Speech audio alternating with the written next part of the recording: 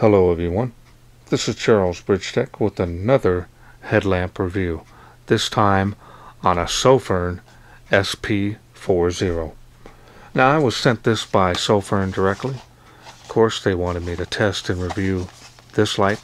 They do have an Amazon store, so you can get this shipped to you quickly. Comes in this plain box, nothing on the outside of it. So let's wait no further. Let's see what's on the inside of it. And looks like we have a thank you card here. They want to hear from you. Here's the user manual.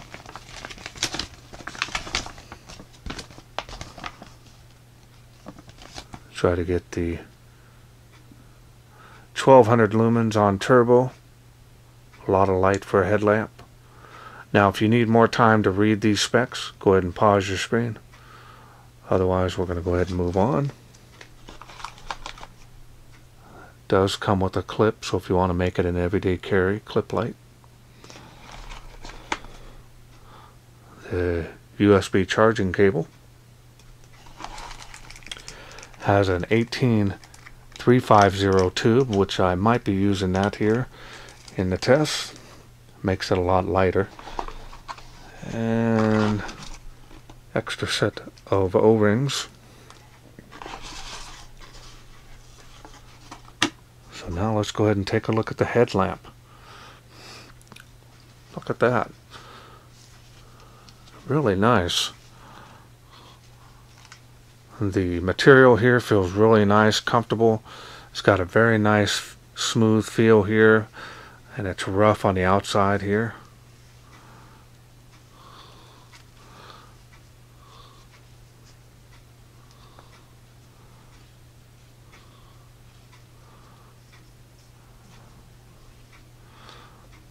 That's what it looks like with the 18650 battery on there.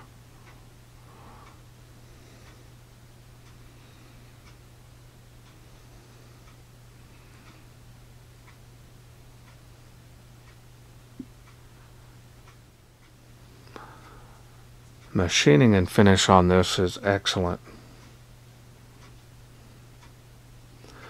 Here's the charging port here.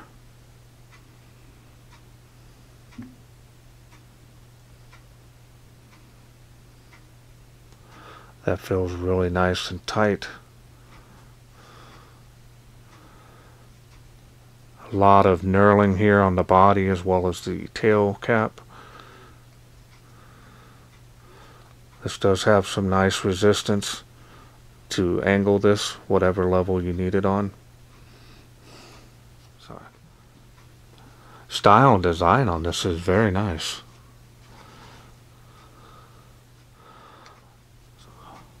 Alright, so now let's go ahead and open this up and I'll show you the battery that it comes with.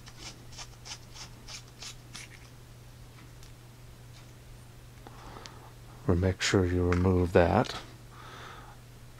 There's the spring on the tail. Of course, we have a Sofirn 18650 3000 milliamps on this. I've tested and reviewed these in the past. They did really well. This is an unprotected cell. Alright. Then of course, let's go ahead and remove the head of the light so you guys can see this spring there as well.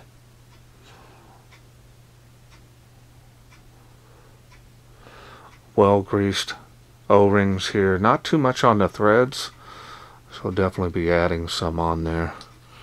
But there is some on the O-ring.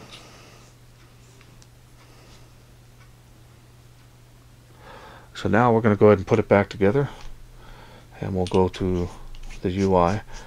Now the nice thing about this, and you know, unfortunately for some people may have to buy an extra battery for this if they want to use this tube you're going to need to purchase a different cell an 18350 that way you can use this as a regular clip light or an EDC So that'll help you there. So now let's go ahead and get started on the UI. We'll turn this on. Comes on here. Tells you the battery level. This will turn red when it starts to get about 50%. When it's about 25%, I believe it's going to go down and start to blink as well after that. So nice neutral color on this. A little on the warmer side, if you ask me. Probably about uh, 4700 Kelvin. Now we're going to go ahead and press and hold to go through the light outputs. Goes up. Keeps going. Three levels of light. You got low, medium, and high. And then double click to get turbo. Really nice small focused hotspot on there. A little bit of bleeding here around the edges, but a nice large spill, especially coming off that small of a head of a light. Nice neutral color to that on my hand. See that? Now, if you want to lock out this light, you can click this four times. One, two, three, four. It'll give you a blink, and that goes off. So now whenever you click the button, it only blinks twice, and then it will not come on. One, two, three, four unlocks the light. It'll come back on. Then again, to go through those light outputs, you can press and hold those, or you can do it one at a time. Click it, turn it off, turn it back on. It does have memory mode, so that's nice.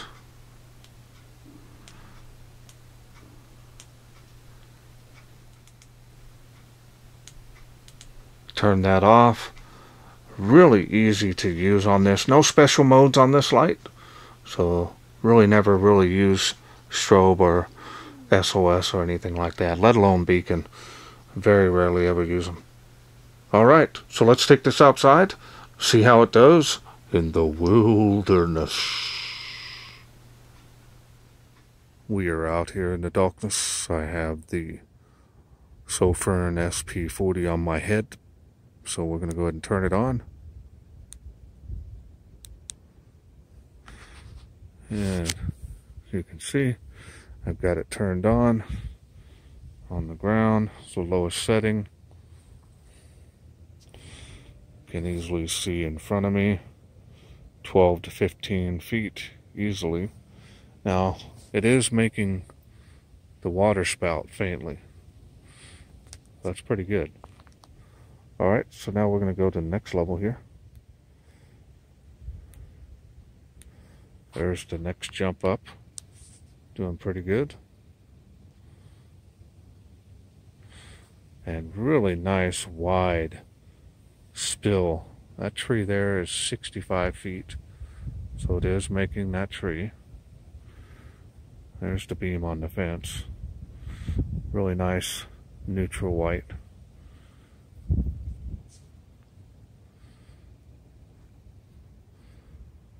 Not quite making that tree of life, maybe faintly. There it is there. Moving my head around.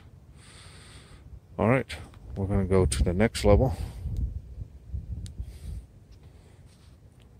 Oh, that looks good. Look at how wide this spill is. really wide on this. Nice focused hot spot out there and help you give you some range. There it is, 65 feet to that tree. There it is on the fence, tree line. And it is faintly,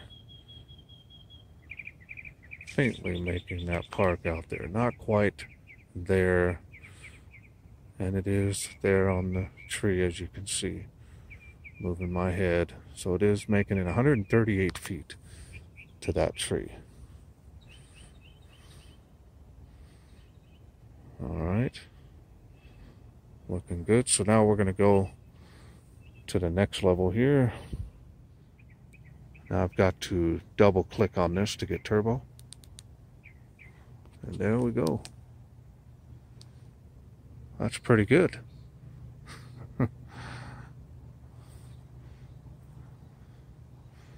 There's before after before.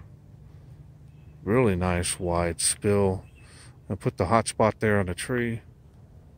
And just to show you how wide this spill is.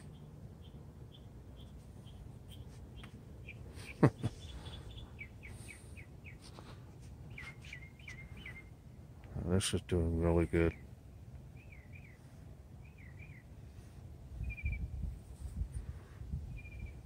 Yeah. Good for a headlamp. Look how wide this spill is going all the way out to the side, all the way out to that side, all the way down. Man. Impressive.